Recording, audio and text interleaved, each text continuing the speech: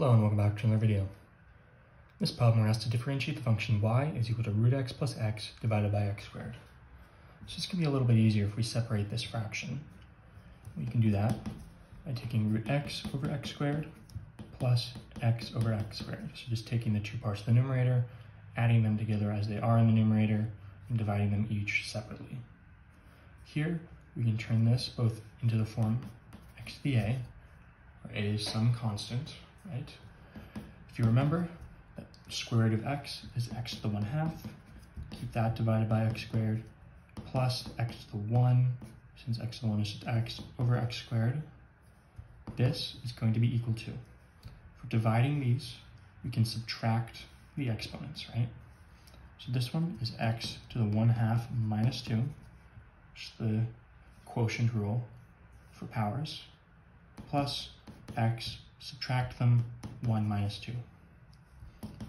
1 half minus 2 is 1 half minus 4 over 2 is negative 3 halves.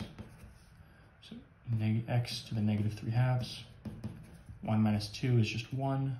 And now this is two power functions. We can find the derivative of these easily. So y prime equals, again, this is what we're looking at. Bring the exponent down, negative 3 halves, new exponent is subtract 1. Minus 3 halves minus 1.